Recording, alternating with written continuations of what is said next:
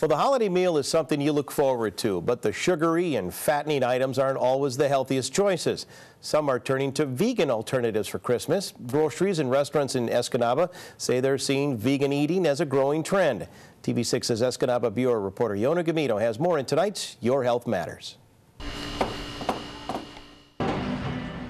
Delectable dishes are vegan.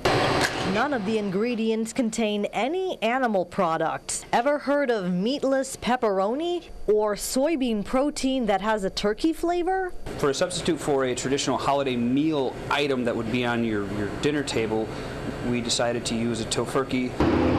Babaloon's Cafe in Escanaba has a variety of vegetarian and vegan items.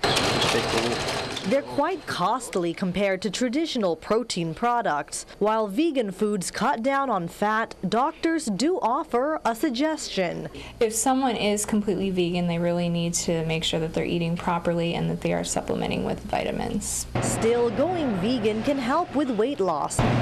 The general manager of Elmers County Market says he's lost 28 pounds on a similar diet. People have to decide what motivates them because it isn't easy at first if you're used to eating a lot of meat. It is a big change, but it's surprising how, uh, how easy it is.